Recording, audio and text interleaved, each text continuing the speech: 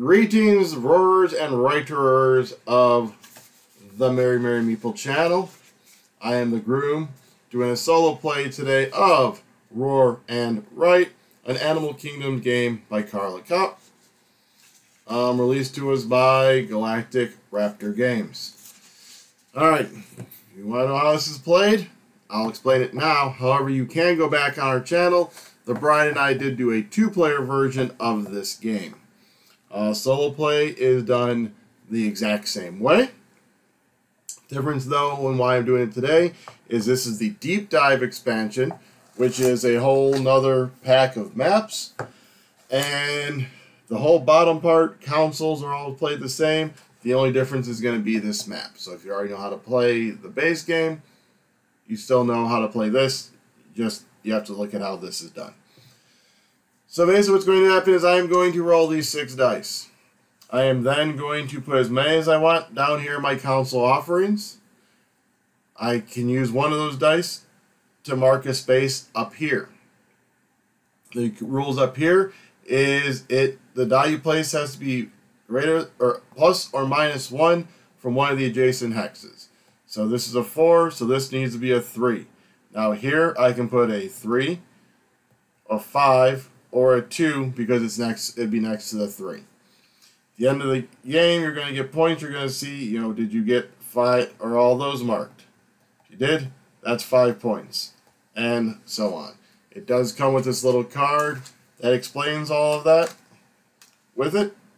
Um, actually, I should say, if, once you fill in one of these, you would take that. Um, if you fill in all six squ squares early, you get an early appeasement bonus on roll 1, 2, or 3, which will give you points. At the end of an uh, age, you're going to choose one of these guys out here, score for it, put the letter here. At the end of the game, you're going to score points for how many different ones you've used. You're also going to be looking for a unique number that gives you points and a pair. So I'm looking for threes and then pairs of twos and fives. That is the basics. So let's get started by rolling these up first. One, one, one, four, four, six. So this one's looking for four of a kinds. That's threes. That's looking for a bunch of different ones. Um, he's looking for odds. So let's go ahead and just throw all three ones on here. Because we can possibly get the four of a kind, or we're already at this part of him up here. We're going to do the four right here.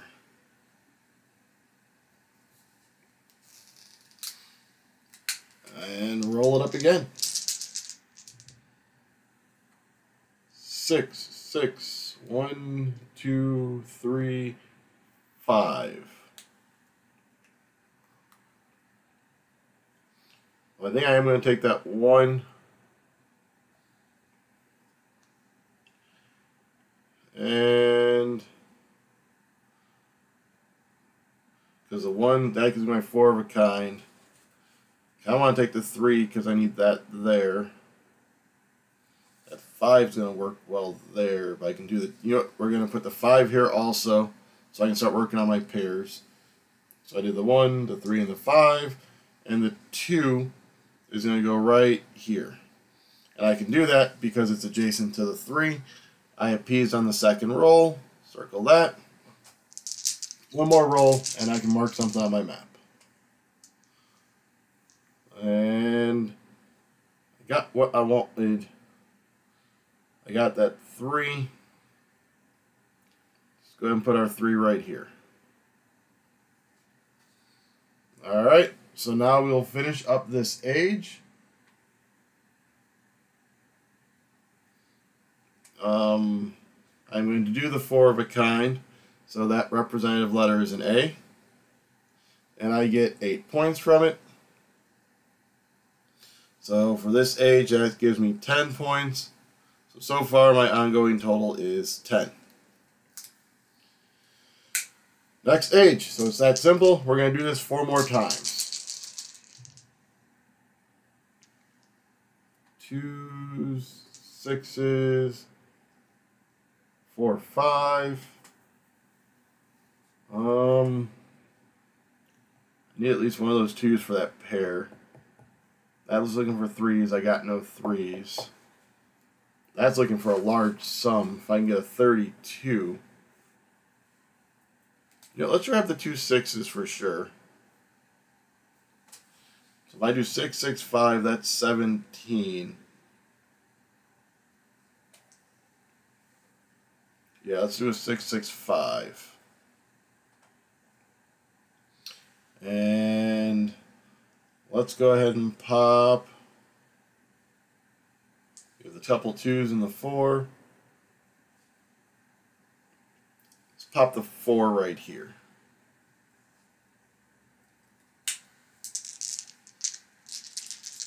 Looking for a bunch of sixes. I got one six. And a six. Um, I think I'm going to do the six there.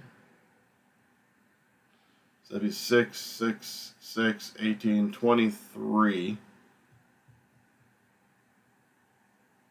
Really close to getting that.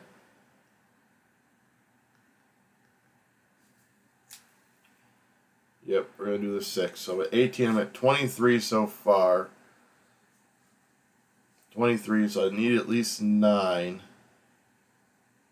Yeah, I'm going to grab one of the 3s too. So I'm looking for definitively a 6 at the next roll. Hopefully I get it. And now I can do one of these numbers. I'm going to work on... Let's go ahead and go 3 here. Alright. So I did not do any early appeasement. Oh well. Come on, six. Yes, six, six, four, four, five, one. Doing one of the sixes there. Um, that me all of those numbers I can do. Uh, probably finish up this. So four. See if I can get the water done because that's nine points. Just have to get over there. It's doable. Alright, so that was my third roll. 6, 12, 18, 24, 29, 32. We're going to do N here. And that gives me 13 huge points. Alright. Going into the third age. Got a couple of fives, got a couple of twos, four, a six. I'm going to want to try and get over there somehow. So that's going to be one of the fives or sixes.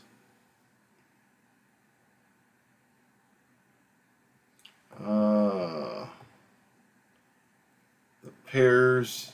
I have a couple fives. I don't have a couple twos yet. You know, let's go ahead and grab the two twos. I don't know what I'm going to go for up there yet. Maybe the different ones.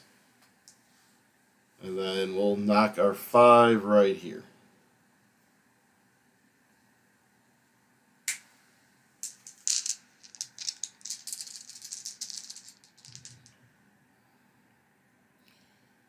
That's a lot of fives. A one, a two, a six. Could just put a bunch of fives there for my odds. Really build up on those pairs. You know, I think that is what we're going to do. Although that means I can't put one of those right there. I'm going for the fish, and I can do it too. Yeah. Five, five, five, and then two in the water. One more roll. Two, four, one, six, six. All right, so right now I'm at. I was thinking about maybe maybe doing the odds. That would give me four odds, which is only two points. It's not that big of a deal.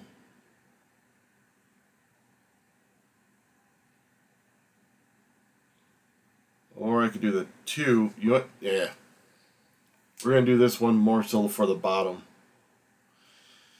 Two. So that's already three pairs there.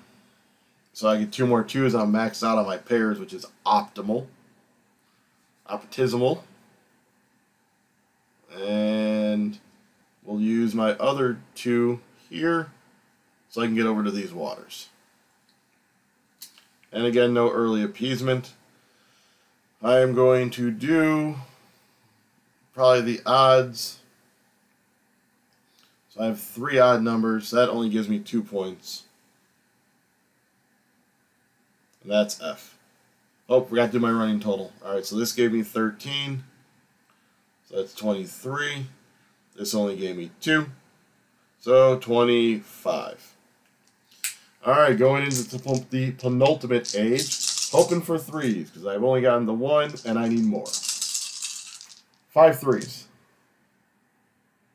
Nope, you gave me one. Uh, yep, one three.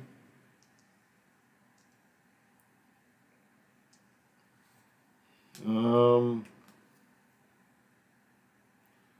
what can I do over here? I can do the one. That's about it. So I probably want to keep that.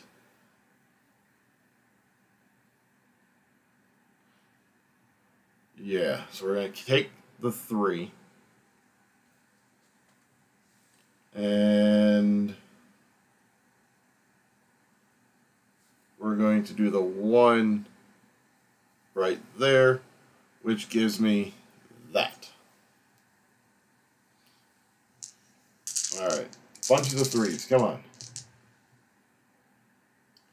No threes. Four, five, six. Uh, well, I guess we're going to do our four here.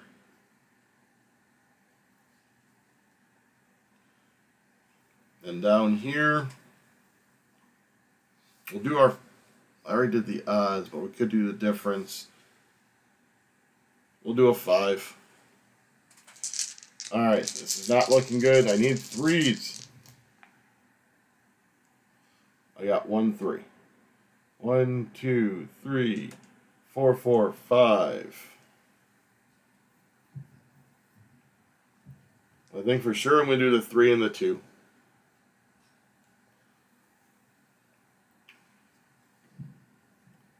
Three and the two, the four and the one.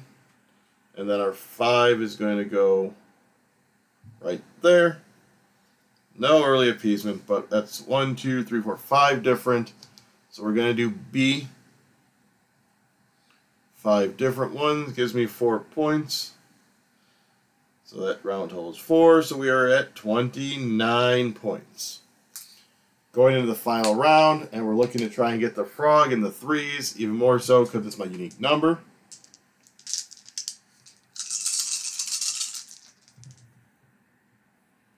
I'm just not rolling threes today. Oh, that was a four. To use the four on the water. So that gives me the nine.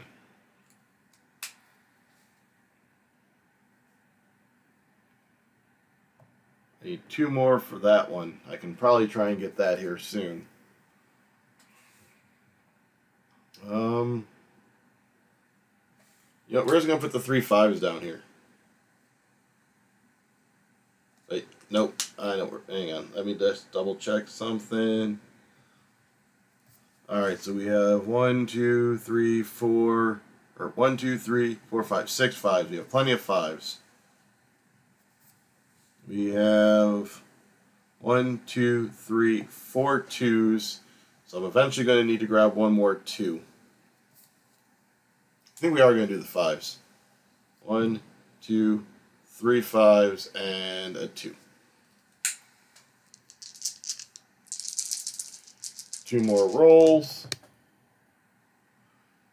And no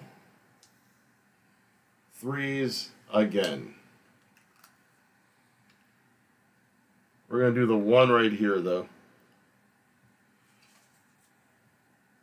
Now I have five twos already, right? One, two, three, four, five. So the twos don't matter.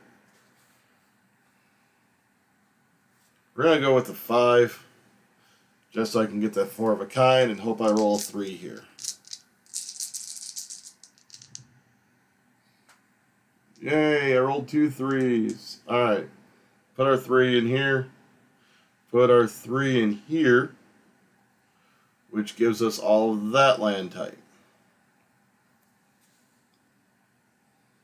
Alright, so I'm not so if I take him, that's going to give me five points there. Only one, so that's a six point play. If I do them, that's just straight eight points. So it is better to do the four of a kind. A. Eight points, no early appeasement. So eight puts me at 37. 37 is my ongoing total. My unique number was threes. One, two, three, four, five of them. So that gives me three points there. Pairs, I believe I had one, two, three, four, five. Yep, I had the five of them total, so seven, ten. Representatives, I had four different ones. So one, two, three, four is ten points. My kingdoms is 19. So 10, 20, 57, 67, 76 points. And in a solo game, you can earn a title. At 76 points, I am the council member from the Arctic Kingdom. The highest ranking is 95 plus points. They also have a mission mode on the back that you can do for the solo game. So this is, which requires you to both be a certain score and meet a mission requirement. You must do both to move on to the next mission. So these are all 90 plus. So basically, if you feel like you're easily getting to that monarch level, these add that extra challenge. So mission one is score the same council member twice and completely fill in two kingdoms. Well, I would have had that except for the point total I was short on. But again, that is Roar and Write, a Animal Kingdoms game from Galactic Raptor, Raptor designed by Carla Kopp of Where Giraffe fame. All right, until next time, I am the groom. I played a game, I rolled some dice, I wrote on a pad. See you later.